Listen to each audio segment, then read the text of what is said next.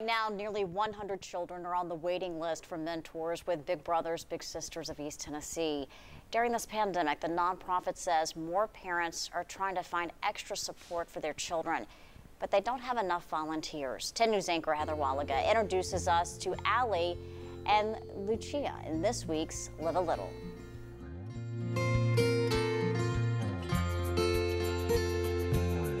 Are you already making a guess? Connecting Does your animal have a hat on? is so important these days, which is why Ally Johnson signed up to become a big sister again.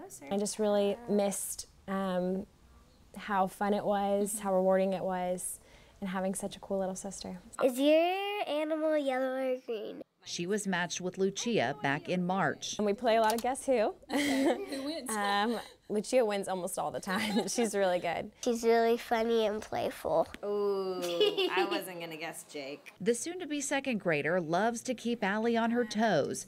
The pair spends a lot of time together. We play games, sometimes we draw, and sometimes we read books. She always compliments me. I love to compliment her. She's so smart. And I, I just think building that female bond is so important. It's a bond that constantly keeps Ally learning, one she hopes will teach Lucia about the power of positive relationships. I'm a young professional woman. I want her to be able to see that there's a lot that she can do. You make time for something this important, and the second that you have your first visit, I mean, time opens up. You're going to be there because you want to be there. And Lucia wants other children to get the chance to have a mentor like hers. No matter if you're big or small, anyone can be by your side. I want them to know what it feels like.